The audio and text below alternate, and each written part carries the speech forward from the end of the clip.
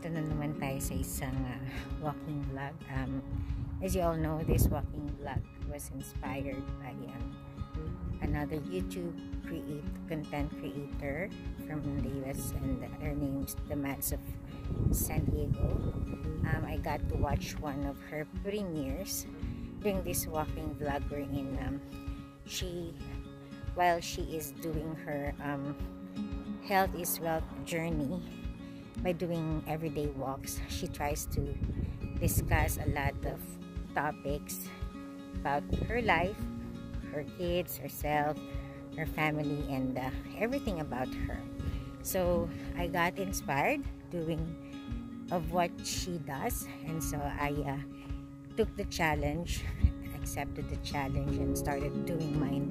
Yeah. Three months on lockdown I do remember the date. The last time I was outside was on March 8th. March, April, May, June. So it has already been three months on lockdown and uh, the city has eased the restrictions about going out and um, now we are able to receive uh, guests at home but there's what this is uh, there's this what they call a bubble a bubble of um, people who are only allowed to see you or uh, who are only allowed to to be with you at a certain point of time.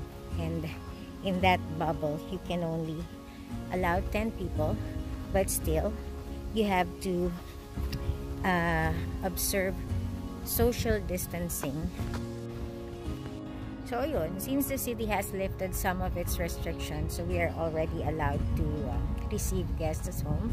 So since Friday, we've been having guests at home na yung uh, family ng best friend ni Boss Madam, nandun sila sa bahay, they had dinner there.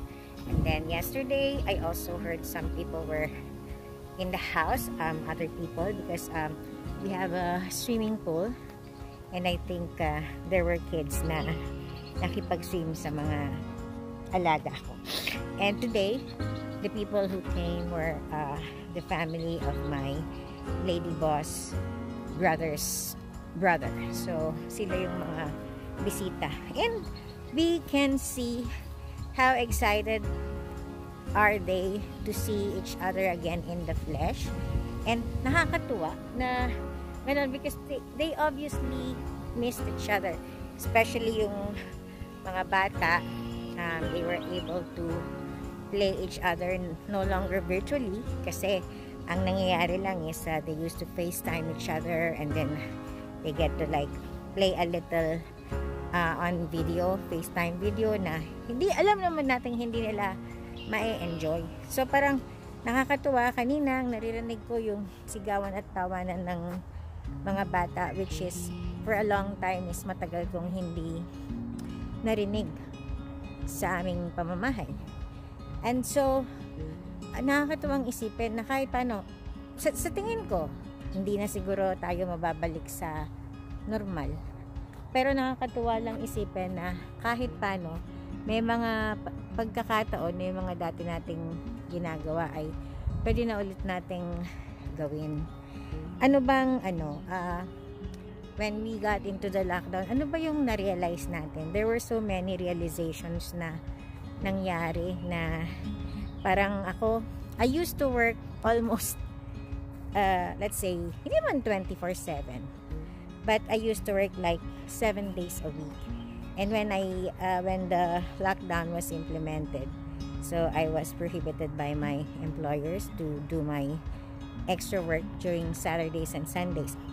But before the lockdown, I was busy doing Saturday and Sunday work at wala talaga akong pahinga. Especially nung baguhan pa lang ako dito sa Canada.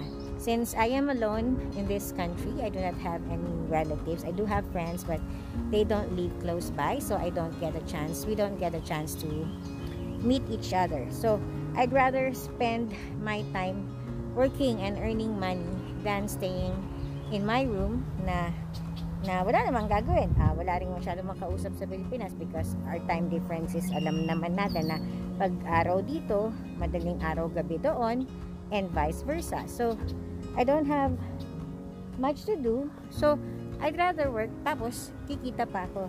And I got to a point na halos hindi na ako nagpapahinga. All I do is work, work, work, work, work, and work, and work, and work. And so, parang dumadating ako dun sa point na napapagod ako. Pero nanghihinayang ako kasi parang andyan lang yung opportunity to to earn. And nanghihinayang ako na palagpasin yung bawat oportunidad na yon. Especially that oh, especially na ano naman kasi I'm still not uh, financially stable. So, every opportunity that I get to earn money, I grab it. Kasi uh, gusto ko lang yung parang I I I have extra finances just in case may mga emergency pangangailangan sa Pilipinas, yung mga anak ko, I could have something new. Sabi nga nila, kapag may uh, isinuksok, meron tayong madudukot. So, yun yung naging panuntunan ko sa mga unang panahon na ako ay nandito. Meron yung mga time na I will work 8 to 5 sa employer ko.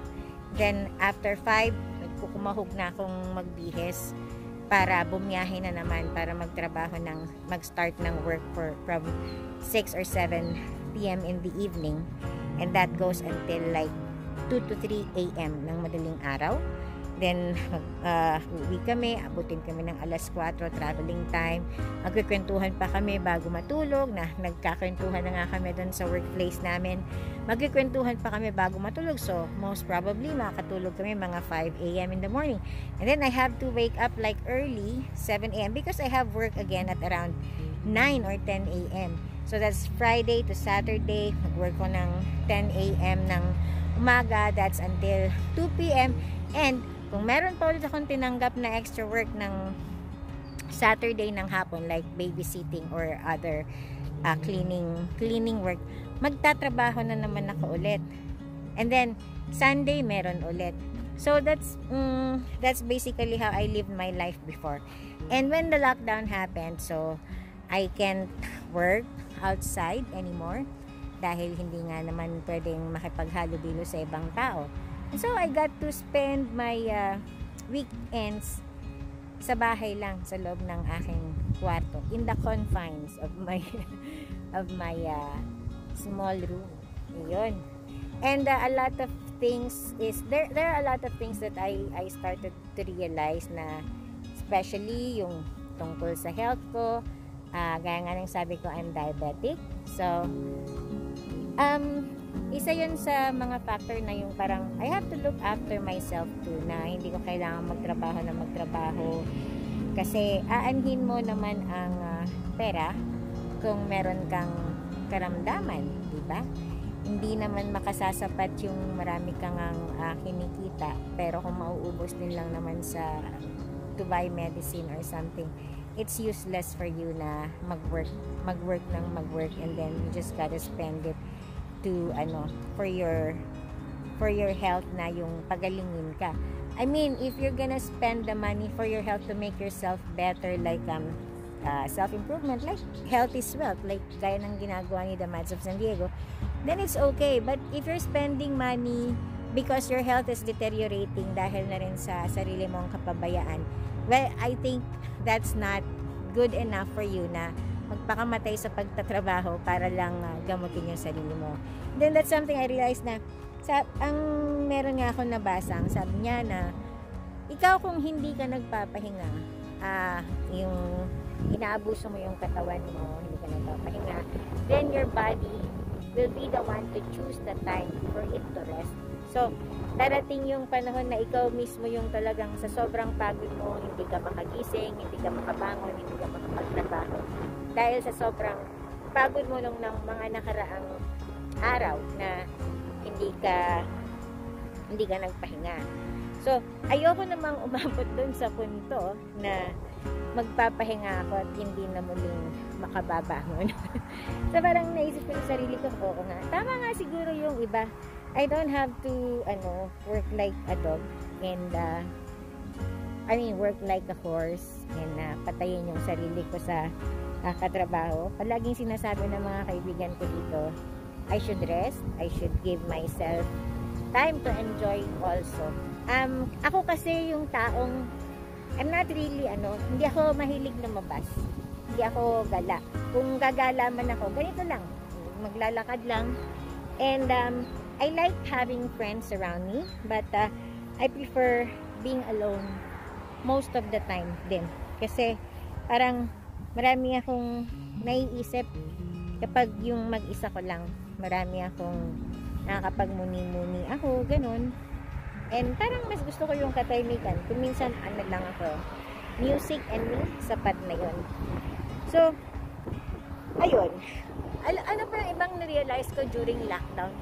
So, yun, kailangan ko magpahinga. And then, I also realized na parang yung time para sa sarili at para sa pamilya, nagkaroon kami nitong ano, nagkaroon ng lockdown since ang mga bata din is ano, yung uh, wala silang klase, maaari kaming makapagtawagan any time of the day. Mas madalas yung mga kwentuhan namin, nakakapagbabad kami para mag video call, nakakapagbiroan kami, nakakapagharutan kami through videos.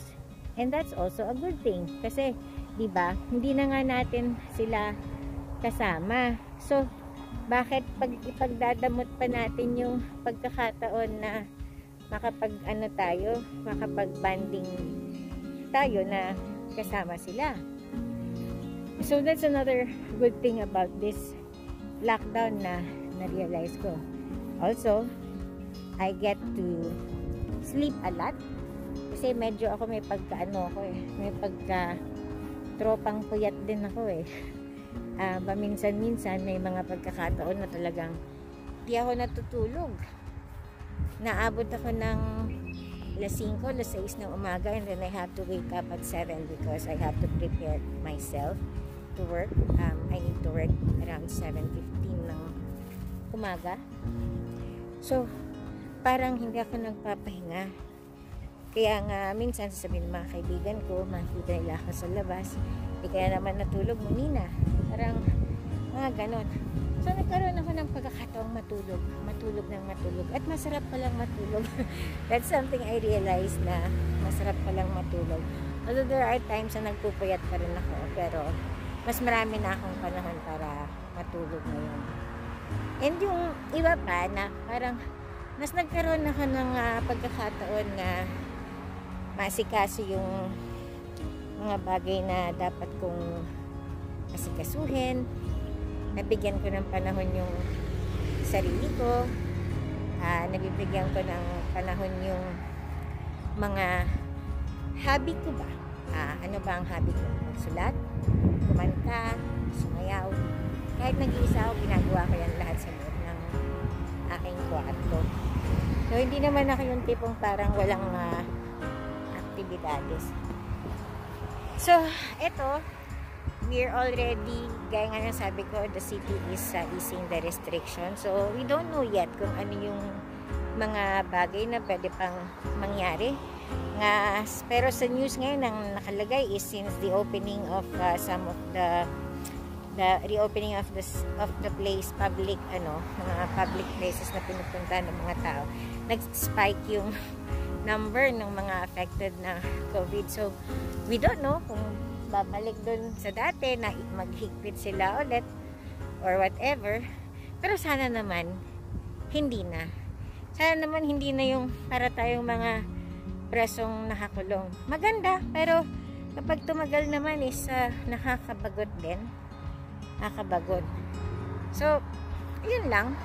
So, yun. Yun lang muna yung may share ko sa inyo. I'm doing my uh, daily walk na ano, dahil nakakulong na ako sa kwarto ko maghapon. So, kailangan ko rin ng fresh air and I also need to buy myself dinner. And so, yan muna sa ngayon ang may share ko sa inyo and um, I'll be back another day to share more of my uh, life dito and my my journey in Canada. So guys, maraming maraming salamat. Uh, please support me by subscribing to my channel and please don't forget to hit like maybe comment comment down something um, pwede kayo siguro mag-suggest something about ano na, pwede natin pag-usapan, pwede kong itakal sa aking mga susunod na walk. And again, thank you to the Mads of San Diego for this um, ano, inspiring activity na ginagawa ng nanang karamihan. Marami na siyang na-influence. So, isa na ako sa mga yon. So, ngayon, I'm uh, beginning to share mine too. And uh, again, thanks to Mads of San Diego. And this is Candid Manila. Peace out. I'm signing off. Thank you.